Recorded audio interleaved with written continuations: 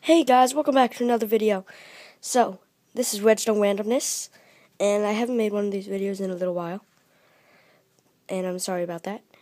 I've been very busy lately. So, yeah, all I've really done is just expanded this, and I made a few things. That, that, and that. So, wait, just let me close this first.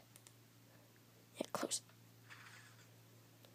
Okay, so I wish obsidian could be like pushed around. Wait, wait, wait. Is this ready? Nope, it's not prepared yet.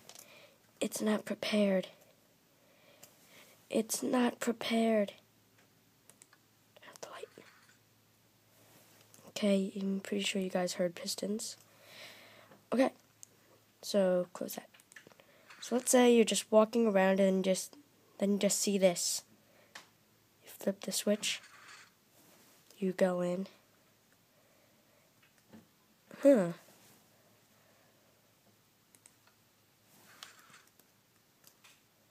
And there's supposed to be monsters here, but I did not get that in, so yeah, this is like a little trap door that's like hidden.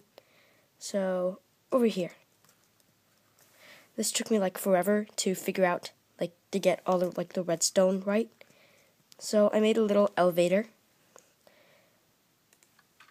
Whee! Ha, you're trapped. So yeah, there's like little pistons back here that push you out and in front of the door so you can't fall back in. And over here, this is a pretty cool creation. So if you guys watch SethBling, he made a video for this invention that he made called a chest on request. So you step on the pressure plate, a storage chest comes a whole thing, your goodies. Then you can go to a different room. Same chest with all the little goodies.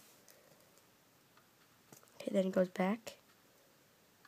And then over here, same chest with all the little goodies in it. So, um, yeah, that's pretty much it for this episode of Redstone Randomness.